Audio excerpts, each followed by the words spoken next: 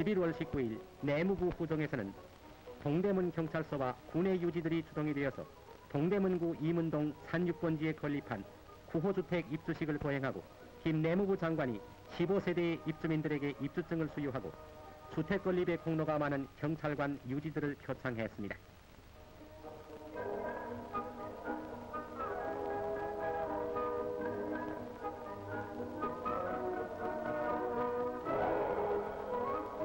이리하여 지난 여름 판잣집 철거로 말미암아 집을 잃었던 15세대의 입주민들은 경찰관들의 안내를 받아 기쁨에 넘치는 얼굴로 제각기 배정된 주택에 입주했습니다.